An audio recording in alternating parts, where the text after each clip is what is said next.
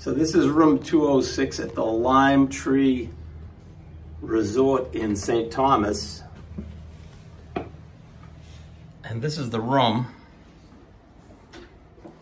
As you come into the room, there's a refrigerator and a nice kitchenette. It has a stove top and a coffee maker with a sink and drawers for utensils and a microwave oven. And has the bed up in the back of the room. We'll get there in a moment, but this is the bathroom. It's a decent bathroom with a nice toilet and a walk-in shower. It's a spacious size bathroom. Nice tile floor. A nice vanity with some lights and a hair dryer. And then as you go further into the room, there's a decent size bed with a small area for the telephone.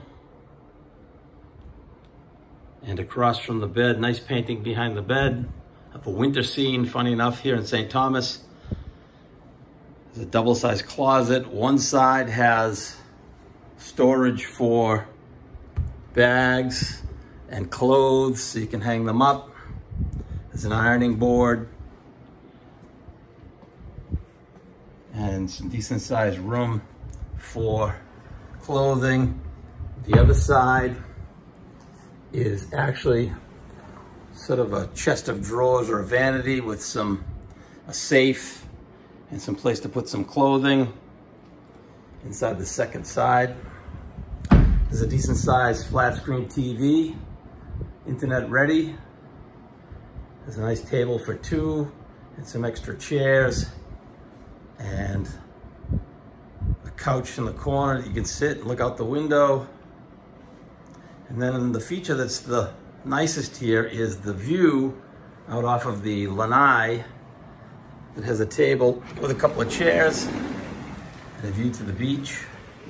And this is what you come for, is to get this view and spend some time down on this very private, very beautiful, secluded beach. Beautiful resort. And again, this is the um, this is the room.